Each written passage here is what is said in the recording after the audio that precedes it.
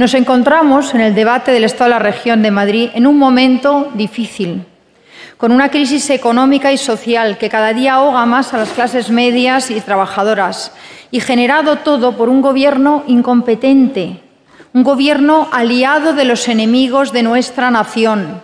Hoy tenemos la esperanza de que quede un día menos, un día menos para sacarlos de las instituciones y un día menos para devolver la prosperidad a todos los españoles.